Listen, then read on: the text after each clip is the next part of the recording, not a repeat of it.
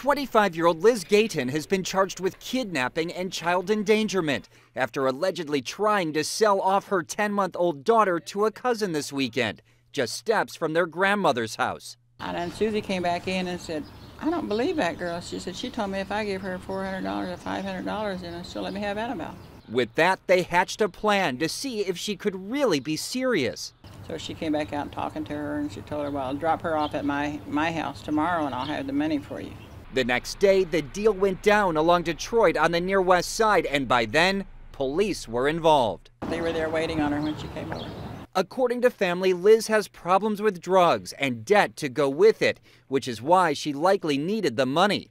What her family says she needs more is help, and they're hoping this lesson leads to that. After raising her for 25 years and doing everything to help her, I, it just really hurt for her to turn against me like that and to be treating one of her kids like that. And right now, I really don't have anything to do with the mother.